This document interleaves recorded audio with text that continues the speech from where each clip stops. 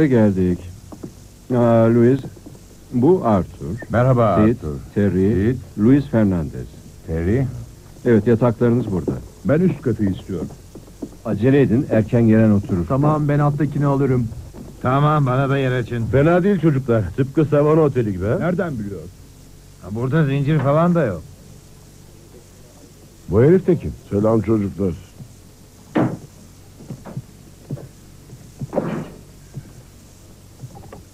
Sen ne yaptığını sanıyorsun? Takıma katılmaya karar verdim. Ha, bana her şeyi anlat. Şey, bu takıma girmek buradan çıkmanın tek yolu değil mi? Sen bu takımda değilsin ki. Aa elbette öyleyim. Ben antrenörüm. Sen nesin? Antrenörüm. Kolbi antrenör almayı unuttun. Tamam belki sizin futbolunuzdan anlamıyorum. Tamam. Ama benimkinde çok fazla sertlik olur. Çocuklar birbirini falan sakatlar. Şimdi sen şu Van Steiner'ına gidiyorsun ve bana şey alıyorsun. Ee, bandajlar, birkaç merhem, biraz yağ, biraz ilaç. İşe başlıyoruz. Tamam bir mı? antrenör istemiyorum. Kolbi, ben bir futbol oyuncusuyum. Böyle bir şeyin dışında kalmak istemem. Çoktan kaldın bile. Yalnızca çocuklarla olmak istiyorum. Saçmalama.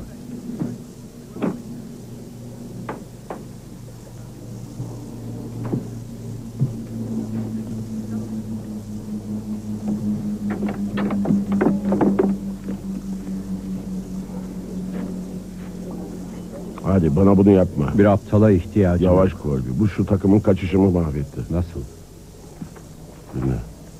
Ben hazırdım. Kağıtlarımı bekliyordum. Duşlardan kaçmayı düşünüyordum ama iki salak nöbetçiyi de siz aldınız.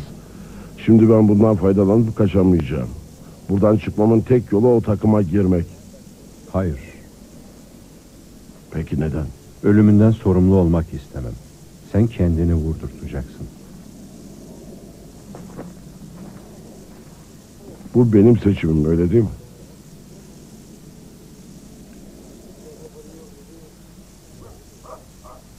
Ne diyorsun evet mi hayır mı? Pekala.